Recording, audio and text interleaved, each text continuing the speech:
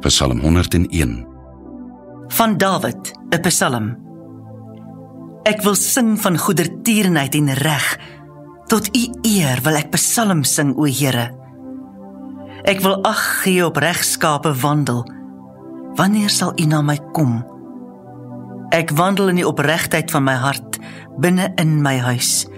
Ek stel geen laat ding voor my oë nie. Die dade van afvalliges haat ek. Die sal my nie aankleef nie. 'n Verkeerde hart moet ver van my af bly. Wat kwaad is, wil ek nie ken nie. Hy wat heimlik van sy naaste kwaad spreek, hom sal ek vernietig. Hy wat hoog van oë is en trots van hart, hom verdra ek nie. My oë sal wees op die getroues in die land, dat hulle by my kan woon. Hy wat wandel in die weg van opregtheid, die mag my dien. Hy wat bedrog pleeg, mag binne in my huis nie bly nie. Wie leuns praat, kan voor my oë nie bestaan nie.